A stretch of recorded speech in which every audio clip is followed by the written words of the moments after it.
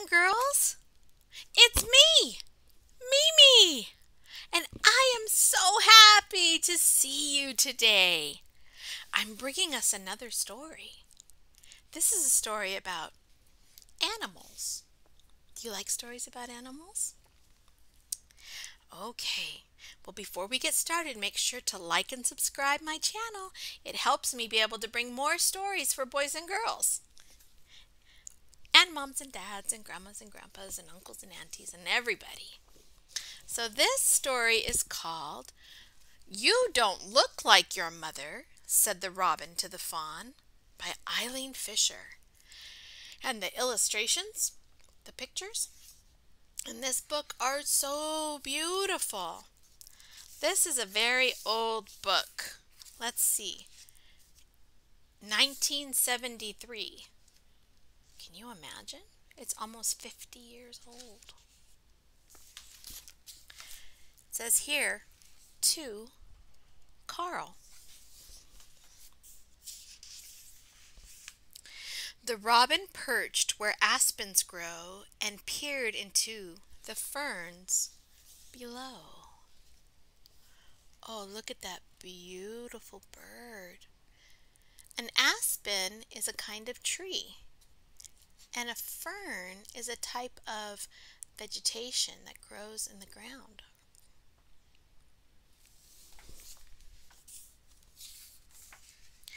Whose child are you down there, she said, with spots of white on brownish red? The fawn looked up and twitched an ear. My mother is a tan gray deer.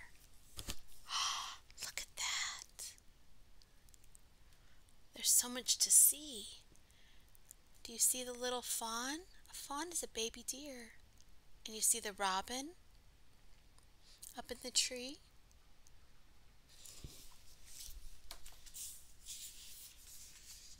A deer, the robin sat up tall. How does she know you're hers at all? With dapples big and dapples small, you don't look like your mother.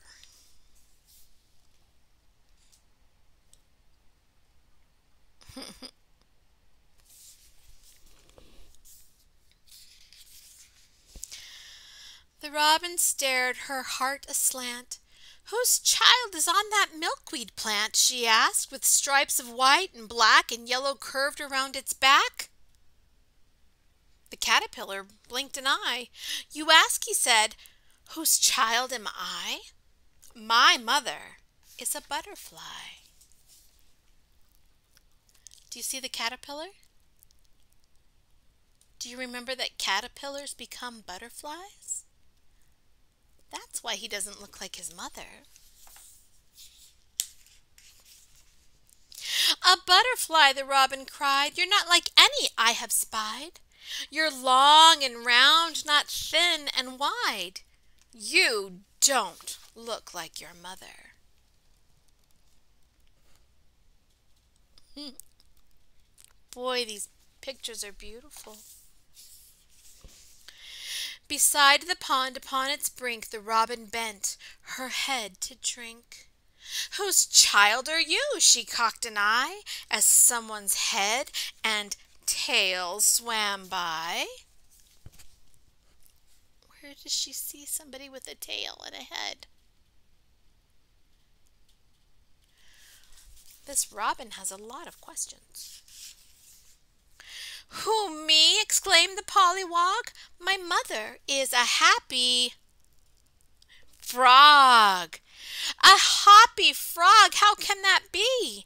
The robin cried excitedly. You don't look like a frog to me. You don't look like your mother. Hmm, that's interesting. What yellow balls of fluff are these? the robin chirped. They float with ease like bobbing puffs of sun moving sloth softly, one by one. Do you know what those are? Do you see them? They're chicks. That's right. Very good. A ball of yellow wagged its head. Our mother is a duck, it said.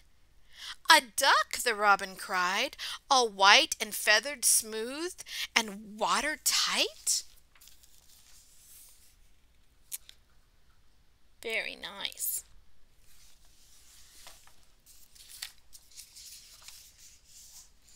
I really can't believe it quite. You don't look like your mother. Hmm.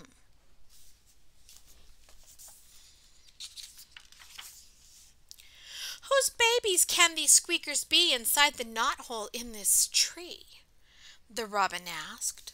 I cannot think of whose children are so small and pink. A squeaky voice inside the house said, Squeak! Our mother is a. a mouse. That's right. See him?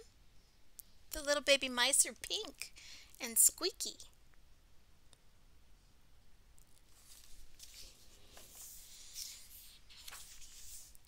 A mouse all gray and velvety? the robin asked. How can it be? She knows you're hers. It's plain to see. You don't look like your mother.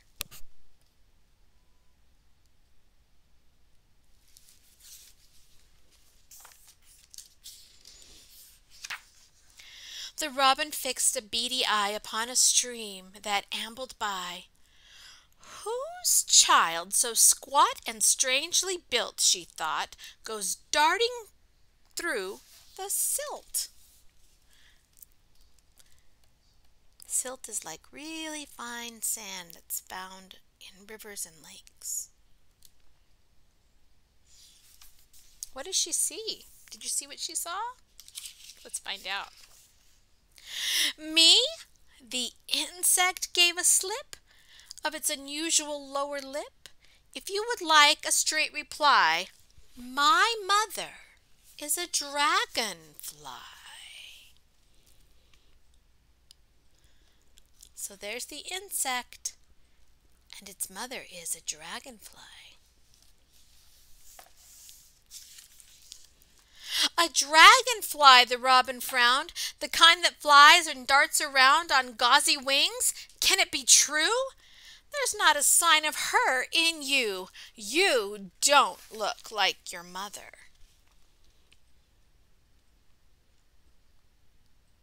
Hmm. Do you see the dragonfly? Have you ever seen a real dragonfly?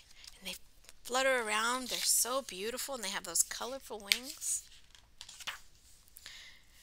Then to her nest the robin flew. She laid five eggs of greenish blue. Do you see her nest? Can you find the eggs? We should count them. One, two, three, four, five. Very good.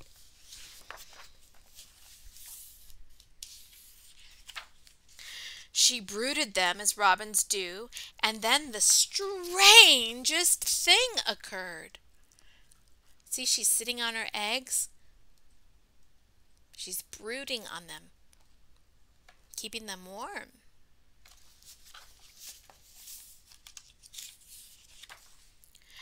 Each robin egg produced a bird. What naked, scrawny chicks my word! But did the robin seek a clue and want to know whose chicks are you?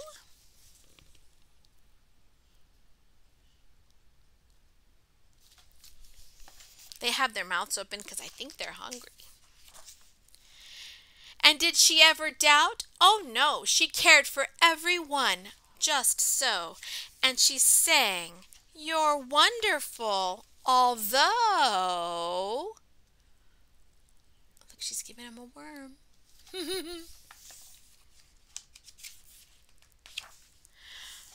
you don't look like your mother. Her chicks don't look like her either. Isn't that funny? How babies, baby animals grow, and when they're born, they look very different. The end. The end. This was a good story. Isn't it interesting how families look? How families make up all kinds of different ways? How some families look alike and some families don't? But they're still a family. Families don't have to match. That's for sure. So, I really enjoyed this story. If you liked it, please give it a thumbs up so I can keep bringing you more stories. Okay. And moms and dads and grandmas and grandpas and guardians and aunties and uncles and all the people that listen to my stories.